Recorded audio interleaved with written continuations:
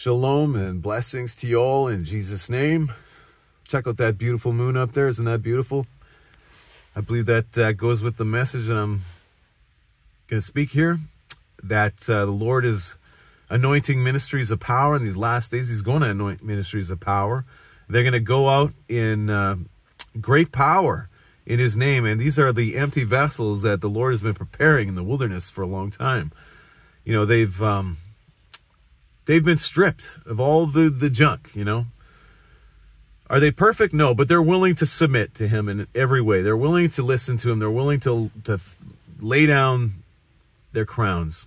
And uh, it, it reminds me of Moses, you know, when he was he was raised in Pharaoh's palace, and um, he was. It says in in the word that he was a man of strong speech. Paul said he was a man of strong speech, and. Uh, he ended up killing this Egyptian, trying to set Israel free in his own strength, but it didn't work out. He ended up running away into the wilderness for 40 years. And by the time he saw the burning bush after 40 years, he said he was a man of stammering lips. And it was like the Lord God had emptied him of himself, and it was time for him to be used.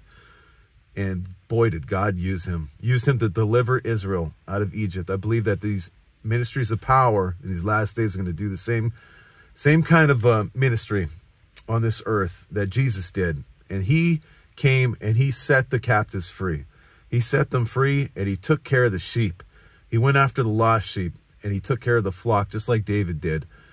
And um, I pray that you are part of this ministry and I'm part of this ministry. I pray that we would submit and we would be those vessels, those empty vessels that are filled with his power like um like the emptied or sorry the new wineskins i should say because he could fill them up with that new wine and they won't burst. God bless you guys and uh have a great night